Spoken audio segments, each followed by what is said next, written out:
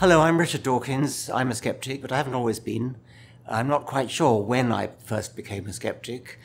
I remember as a child playing a game of hide and seek with, I lived in Africa with an African man, and I, I searched in a particular hut up Zomba Mountain, and he wasn't there. He definitely wasn't there.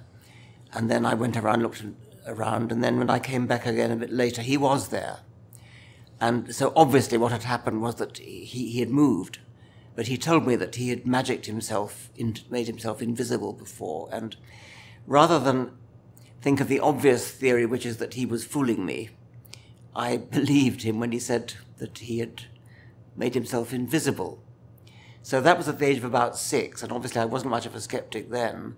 Um, I don't think there was ever a moment when I suddenly became a skeptic. Now, as an adult, I say to myself, how could anyone not be a skeptic? How could anyone ever agree to believe in something, really, really believe in something, unless you have evidence for it?